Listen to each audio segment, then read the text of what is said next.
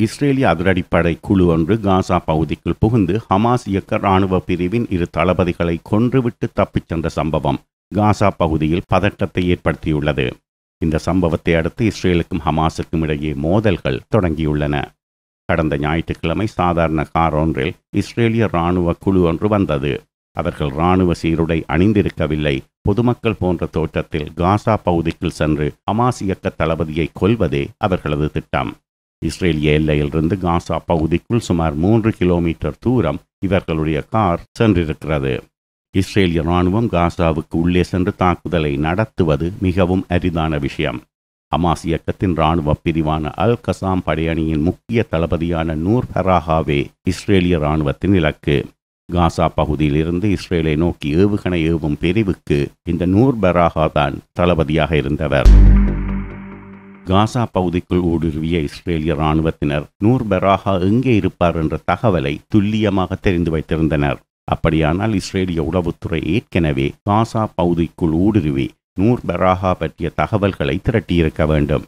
அதன்பின் நூர் பெராஹா இருந்த இடத்துக்கு மிக அருகில் இஸ்ரேலிய உளவாளிகள் இருந்திருக்க வேண்டும். அந்த இடம் இஸ்ரேலிய எல்லையிலிருந்து மூன்று கிலோமீட்டர் தொலைவில் இருந்ததால் இஸ்ரேலிய இராணுவ குழு எல்லையிலிருந்து பத்து நிமிட கார் பயணத்தில் இலக்கை அடைந்து விடலாம். எல்லையிலிருந்து சென்ற கார் நேரே நூர்பராகா தங்கியிருந்த இடத்துக்கு சென்று நின்றது. காரிலிருந்து சாதாரண உடைகளில் இஸ்ரேலிய இராணுவ குழு இறங்கிய போது அவர்களது கைகளில் துப்பாக்கிகள் இல்லை. திடீரென காருக்குள் இருந்த துப்பாக்கிகளை எடுத்து நூர் ஹராகாவையும் அவருக்கு அருகே நின்ற மற்றொரு தளபதியான காசி ஹமாடையும் சுடத் தொடங்கிய போது அவர்கள் ஏறி வந்த கார் ஏற்கனவே நகரத் தொடங்கிவிட்டது.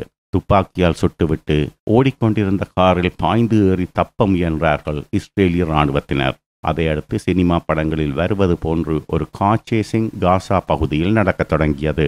சுட்டுவிட்டு தப்ப முயன்ற இஸ்ரேலிய இராணுவத்தினரை ஹமாஸ் இயக்கத்தினரும் அல் கசாம் படைப்பிரிவினரும் வேறு வாகனங்களில் துரத்தியபடியே சுடத் தொடங்கினார்கள். அவர்கள் தாக்குவார்கள் என்பதை இஸ்ரேலிய இராணுவம் ஊகித்து அதற்கு ஏற்ற விதத்தில் முன்னேற்பாடுகள் செய்திருந்தார்கள். கார் துரத்தல் காசா வீதியில் நடைபெறத் தொடங்கிய நேரத்தில் இஸ்ரேலிய விமானப்படை விமானங்கள் மேலே வானில் வந்துவிட்டன.